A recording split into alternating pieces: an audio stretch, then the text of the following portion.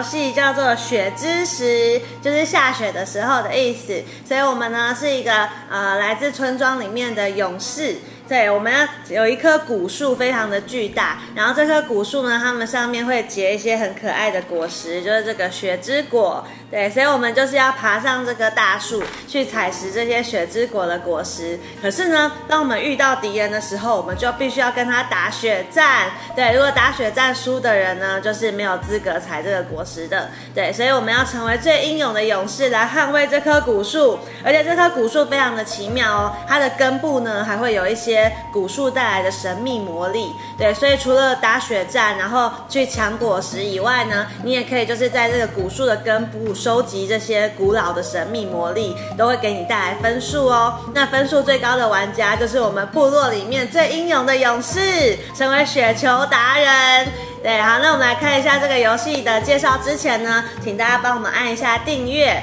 这样子就会订阅我们的频道，以后有更多的游戏介绍就可以给你收看得到喽。或者是再帮我们按一下赞跟分享，把这个雪球大战分享给你的亲朋好友们，大家一起来打雪战吧。让我们来看一下游戏介绍。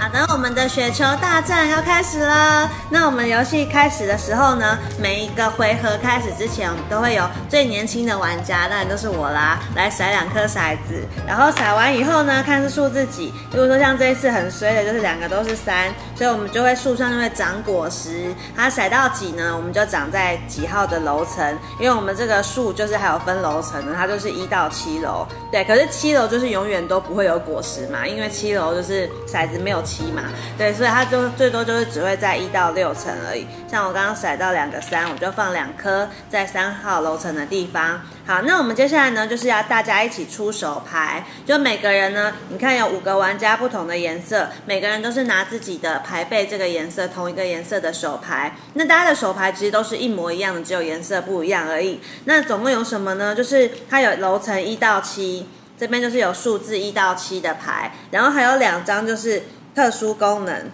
然后加上一张收牌。就是收牌这一张呢，它就是一般的牌，就是它可以无限次数的使用。它就是每次打出来的时候，你就可以收两张你弃牌堆的牌收回手上，然后加上你原本这张收牌的卡也会收回手上，所以就是收三张回来的意思。可是如果当你打出这张收牌的时候，如果你手上刚好是没有牌的状态，那你就是可以享有特权，就是一次把所有的牌通通都收回来。可是就是也比较惨啊，因为你就是必须要留这张到最后一张。才打，所以你前面的数字就是可能都会被别人猜到啊之类的。因为因为平常如果是打数字的话，有一些特别的意义，就是可能会发生雪球大战。这个我等下再介绍。那我先讲的是这张收牌，就如果是最后一张打出的话，你可以收回所有的牌。那不然一般的状况都是收回两张加这一张，就是三张。好，那还有两张就是特殊功能，它的框框呢，框框是你的颜色，就是比较特别。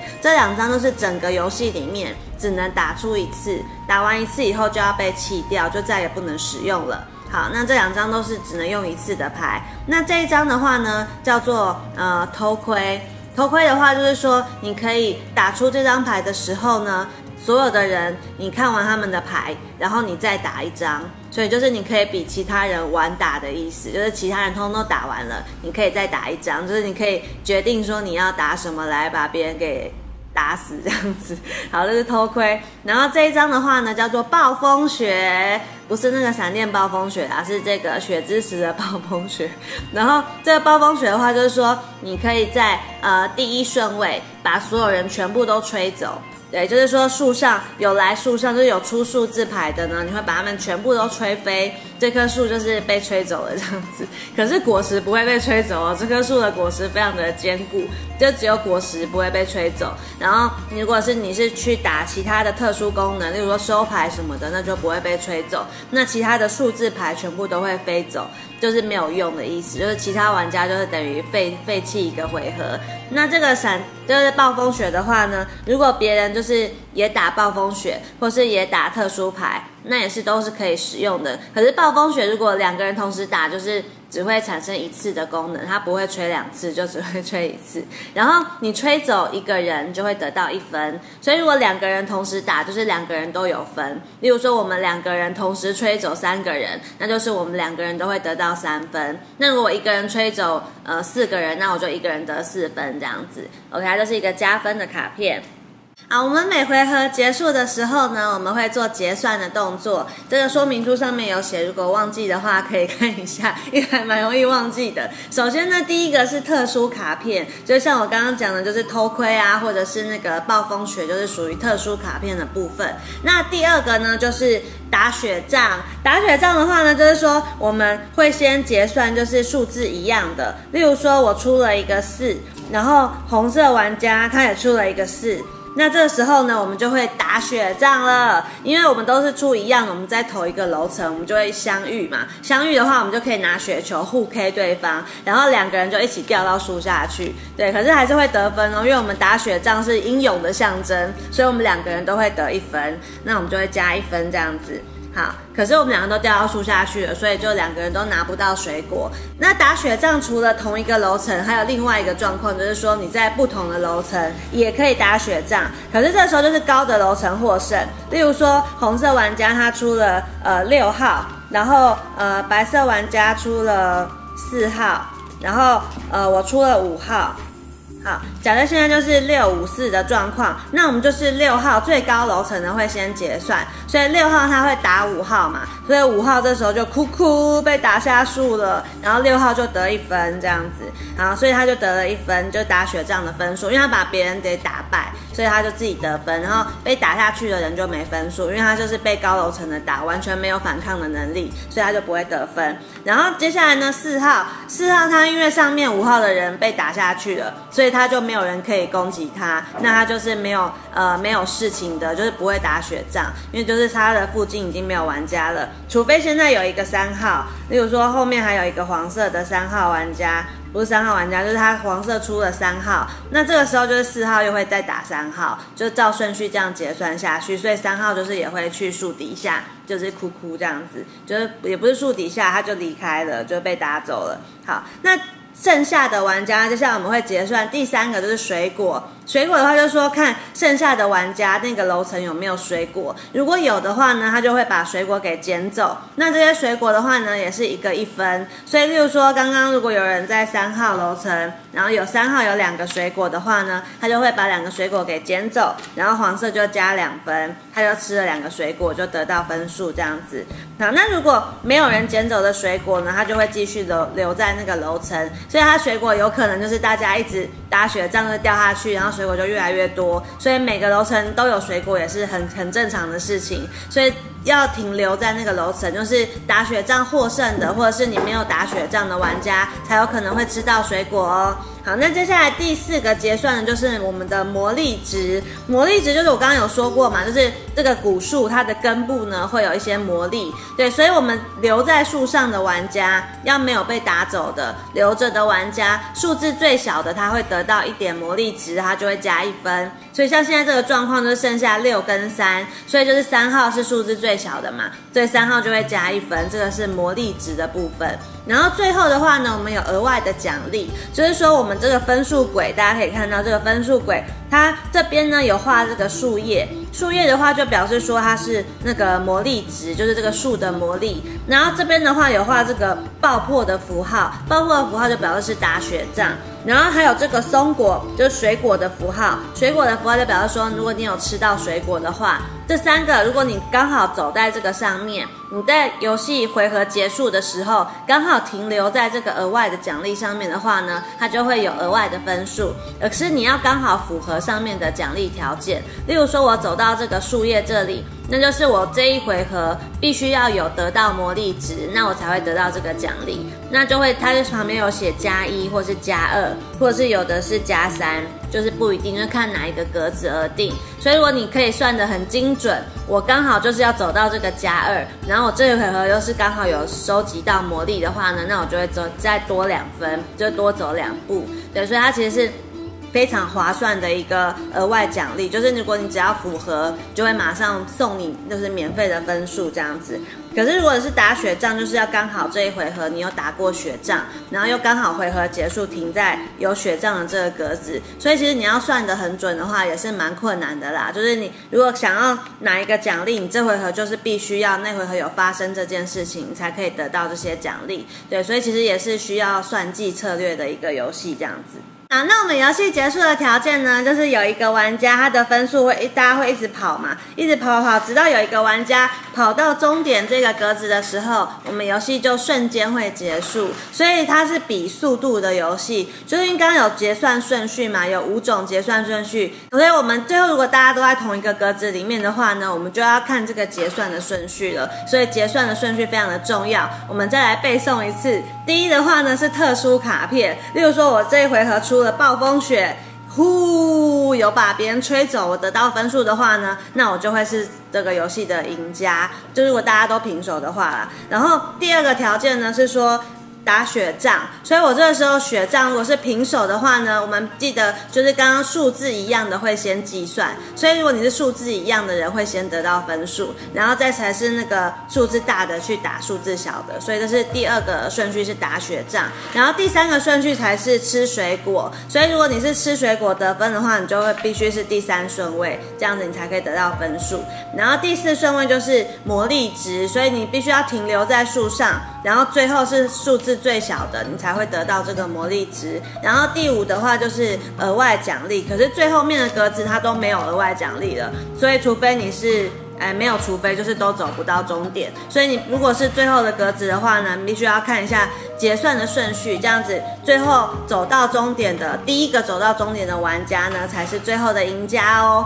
所以他其实不会把回合全部都跑完，他就是什么时候结算有人获胜了，那我们就是游戏结束，然后只有一个玩家会，就是除非你们是一起打雪仗啊，有一个特殊状况就是我们一起。暴风雪，或者是同时就在同一个楼层一起打雪仗，这样才有可能会共享胜利。所以它这个游戏呢是一个蛮特别的竞争的游戏，其实有有有有一点点策略的程度在，你可以计算说别人打过什么手牌啊，所以它有可能这一回合会出什么牌，你就去计算说你出什么牌可能是分数最高的。所以就是我们的雪知识，谢谢大家。好，那我个人觉得呢，雪之石这个游戏它有一点像沙口余生，因为沙口余生它就是也是，如果我们出同样数字相撞了，那就是大家都会一起一起掉下去的游戏。所以它这个游戏呢，就是你必须要去算手牌，就是看别人出过什么数字，然后什么数字还没有出过，所以哪一个数字最有可能不会跟别人相撞，你必须要去稍微记忆一下，或者是你也可以就是完全不记，然后随便抽一张就出牌。我。沙口鱼生也可以这样玩啦，所以你可以试试看，就是用这种随机的方式玩玩看学知识，搞不好你会获胜哦。对对，搞不好。然后第二个游戏，我觉得它有点像，就是。推导题机，因为推导题机它其实是计分方式有点类似，而且它也是手牌管理的游戏，所以就是你计分的时候，推导题机它也是就是大家一起跑跑跑，然后跑到终点的那个人就是获胜的，所以它其实计分方式跟推导题机很类似，只是推导题机比较不可能的是说大家一起跑到终点啊，因为每个人得的分数都会不一样，每个人的目标都不一样，可是这个游戏是有可能就是大家同时跑到终点的，所以这是比较稍微比较公平。其实它也竞争性会更强的一个游戏，因为它就是要打雪仗嘛，所以它蛮特别的，就是它是一个打雪仗的游戏，就是我没有看过这样子打雪球的一个主题这样子。好，那这个游戏呢，它其实我自己玩过的心得是，就是你有可能莫名其妙就赢了，所以就是要看其他就是跟你一起玩的玩家，他们是不是重策略玩家呢？如果是重策略玩家的话，你可能就是要非常的心机算尽。或者是你干脆就是随机乱出，就不会被他们给猜到，因为是重策略玩家常常就会猜说你手上有什么牌，你可能。这回合想要干嘛？所以你就可能会打哪一张。所以这个时候搞不好就是你随便乱出还好一点，就是不会被猜到。对，所以这游戏呢就是一个其实蛮欢乐的啊，就是如果你想要算计也可以，如果你想要就是欢乐随便乱出牌也是 OK 的哦。所以这是一个蛮奇妙，就是适合亲子啊，或者是跟好朋友一起一起就是互相打雪仗的一个好好玩有趣的游戏。最后呢，必须请大家就是帮我们按赞，然后分享、订阅我们的频道，并且就是呃按赞分享是我们的影片，这样子会有更多人跟你一起来打雪仗哦。然后如果你有其他想要玩的游戏，想要看我们介绍的游戏，也欢迎你留言在影片下方，这样子我们看到的话，下次也许就我们会玩的话，就会帮你做介绍哦。然后也请大家就是支持一下我的个人最新创作写真专辑，叫做《唇蜜》。这是张专辑呢，花了我非常多的心力，然后里面总共有十首歌曲，最后面有一张 CD，里面有十首歌，然后前面呢还有一百六十页的写真集，非常的精彩哦，就是有我的呃一些生活照啊，还有 cosplay 的照片呐，还有各式各样有趣的。漂亮的照片都在里面，希望大家可以支持一下。而且如果你来秘密基地购买的话呢，我还会送你一盒桌游，叫做《狼人真言》。那盒游戏比我的专辑还要贵哦，所以非常非常的划算。那如果你想要跟我一起玩雪之时，一起打雪战的话呢，也可以来秘密基地找我玩哦，或者是其他就是我有介绍过的游戏，你有兴趣的话，你也可以就是上网留言，或者是直接来店里面找我。也许如果遇到我的话呢，就可以一起玩游戏哦。那谢谢大家今天的观赏，我是咪咪机姐李蜜，大家拜拜。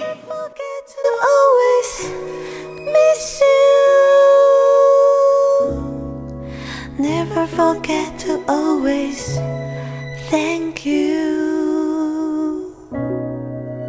Never forget to always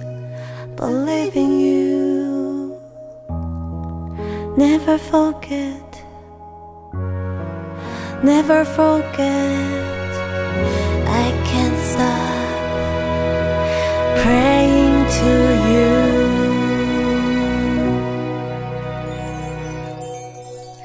Hey，午安，耀眼阳光是你的温暖，轻柔微风是你的自爱快乐。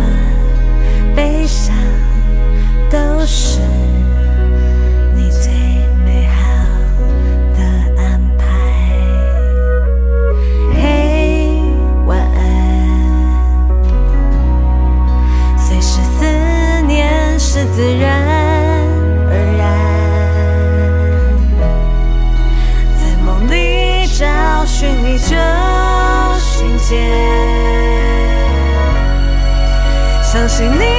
永远与我同在，谁能代替你至高无上恩典？Never forget to always find you. Never forget to always miss you. Never forget to always thank you. Never forget to always believe in you. Never forget, never forget, I love you forever.